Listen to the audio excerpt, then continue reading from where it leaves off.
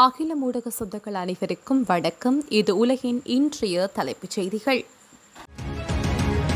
சீனாவில் கொரோனா தொடர்பான இறப்பு எண்ணிக்கை மிக மிக அதிகம் என்பதை அதிகாரிகளே தற்போது ஒப்புக்கொண்டு வருவதாக தகவல்கள் வெளியாகியுள்ளது.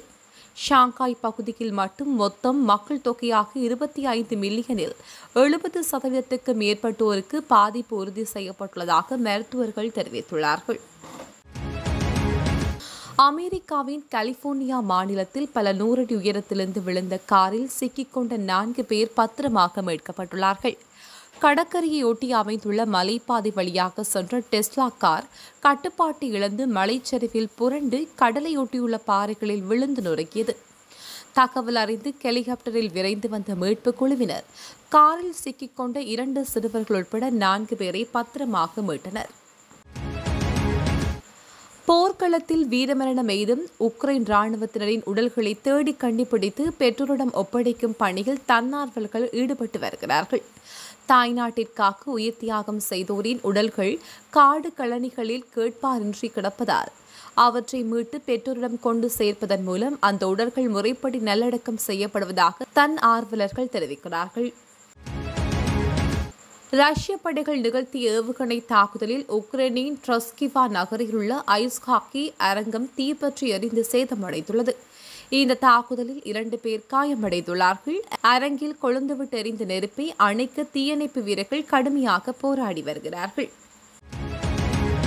மின்சார கார்களின் மைலேஜை மிகைப்படுத்தி விளம்பரப்படுத்தியதற்காக எலான் மஸ்கின் டெஸ்லா நிறுவனத்திற்கு பதினெட்டு கோடியே ஐம்பது லட்சம் ரூபாய் அபராதம் விதிக்கப் போவதாக தென்கொரிய அரசு தெரிவித்துள்ளது.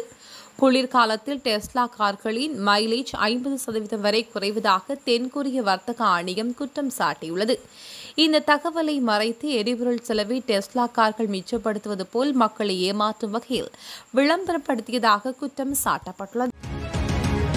ஜப்பானில் வேகமாக பரவும் பறவை காய்ச்சல் இதுவரை எழுபத்தி ஏழு லட்சம் கோழிகள் அழிப்பு. டோக்கியோ ஜப்பானில் இரண்டாயிரத்தி இருபத்தி ரெண்டு அக்டோபர் முதல் பறவை காய்ச்சல் பாதிப்பு கண்டறியப்பட்டுள்ளது. கடந்த ஆண்டை விட வேகமாக பரவி வரும் இந்த காய்ச்சல் தற்போது பல்வேறு மாகாணங்களிலும் பரவி வருகிறது. பாகிஸ்தானில் ஹைபர் பகஸ்துவாவில் உள்ள மக்கள் சமையல் எரிவாயுவை பிளாஸ்டிக் பலூன்களில் எடுத்துச் செல்லும் காட்சிகள் பிரபலமாகி வருகிறது. பாகிஸ்தானில் நிலவும் கடும் பொருளாதார நெருக்கடி காரணமாக சமையல் எரிவாயு சிலிண்டர்கள் பற்றாக்குறையுள்ளதால் சமையல் எரிவாயுவை பிளாஸ்டிக் பலூனில் சேகரித்து செல்கிறார்கள்.